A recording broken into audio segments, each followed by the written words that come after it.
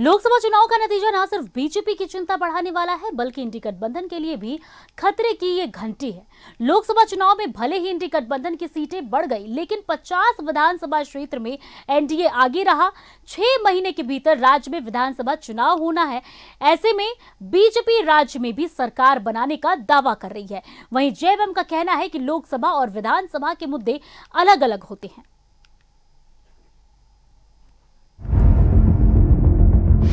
लोकसभा चुनाव के नतीजे के मायने क्या? 50 विधानसभा क्षेत्र में एनडीए को बढ़त। 29 विधानसभा क्षेत्र में इंडी गठबंधन आगे। डुमरी और गोमिया में दिखा जयराम का दम लोकसभा चुनाव में एनडीए ने 9 सीटें जीते, जबकि इंडी गठबंधन को पाँच सीटों पर कामयाबी मिली। लेकिन लोकसभा चुनाव का ये नतीजा दोनों गठबंधन के लिए कहीं ना कहीं चिंता बढ़ाने वाला है। क्योंकि इसी साल के आखिरी में विधानसभा चुनाव होना है। एनडीए ने भले ही लोकसभा की नौ सीटें जीते हैं, लेकिन 50 विधानसभा क्षेत्र में एनडीए को बढ़त मिली है। जबकि इंडी गठबंधन सिर्फ़ उनतीस विधानसभा क्षेत्रों में आगे रही।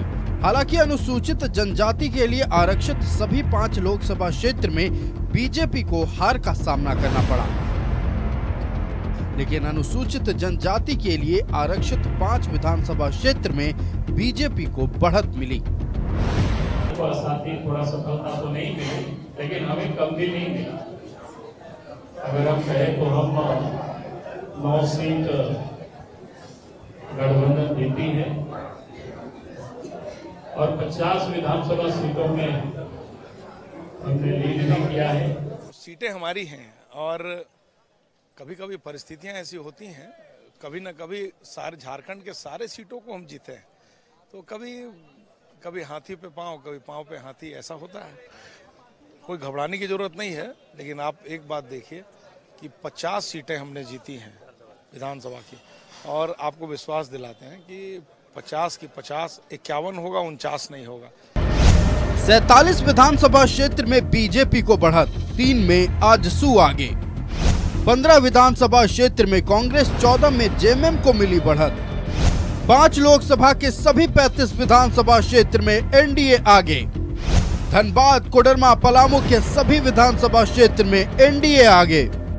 जमशेदपुर और हजारीबाग की भी सभी विधानसभा सीटों पर बढ़त।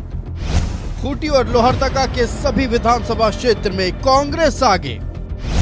राजमहल लोकसभा की सभी विधानसभा क्षेत्र में जेएमएम को बढ़त। एसटी के लिए आरक्षित सिर्फ़ पाँच सीटों पर एनडीए को बढ़त। जामा दुमका घाटशिला पोटका और सरायकेला में बीजेपी आगे। एसटी के लिए आरक्षित तेईस विधानसभा सीट पर इंडी गठबंधन को बढ़त। तो कुल मिलाकर के शानदार जीत है और इस जीत के पीछे यह रहस्य भी छिपा हुआ है कि 2024 के विधानसभा के आम चुनाव में हम पूर्ण बहुमत की सरकार बनाएँगे लोकसभा का परिस्थिति और है। विधानसभा का परिस्थिति कुछ और होने वाला है जो कि आप भी नहीं जानते, हम भी नहीं जानते, लेकिन हम विश्वास करते हैं कि ये 28 जो विधानसभा का सीट इस झारखंड में जनजातियों के लिए है, उसमें बेहतर होगा। सात मंत्री अपने क्षेत्र में इंडी गठबंधन के उम्मीदवार को नहीं दिला पाए बढ़त। बसंत सोरेन, मिथिलेश ठाकुर, सत्यानंद बोक्ता बेवी देवी के क्षेत्र में एनडीए आगे। बादल पत्रलेख और बन्ना गुप्ता के क्षेत्र में भी बीजेपी को बढ़त। बसंत सोरेन की सीट दुमका में सीता सोरेन को मिली बढ़त। प्रदीप यादव और विनोद सिंह अपनी अपनी सीट पर भी पिछड़े। यानी एनडीए जहाँ एसटी सीटों पर पिछड़ा, वहीं आदिवासी को छोड़कर बाकी सीटों पर इंडी गठबंधन को जनता का आशीर्वाद नहीं मिला। ऐसे में ये नतीजा विधानसभा चुनाव में इंडी गठबंधन की चिंता बढ़ाने वाला है। हालाँकि जेएमएम ने कहा है कि लोकसभा और विधानसभा चुनाव के मुद्दे अलग अलग होते हैं।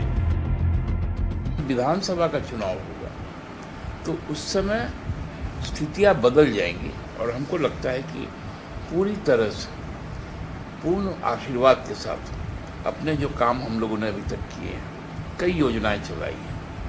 क्योंकि वो योजनाएँ केंद्र के लिए वो एड्रेस नहीं करती है, लेकिन राज्य के लिए करती है। तो उन योजनाओं को लेकर जब हम जाएँगे तो हमको लगता है कि जन आशीर्वाद हमें मिलेगा। छह महीने के भीतर झारखंड में विधानसभा चुनाव होने हैं। ऐसे में बीजेपी की चुनौती, जहाँ आदिवासियों का समर्थन पाने की है, वहीं इंडी गठबंधन के सामने चुनौती रिज़र्व सीटों के अलावा दूसरे सीटों पर भी जनाधार बढ़ाने की है। न्यूज़ 11 भारत के लिए रांची से राकेश और राजेश कुमार के साथ bureau report.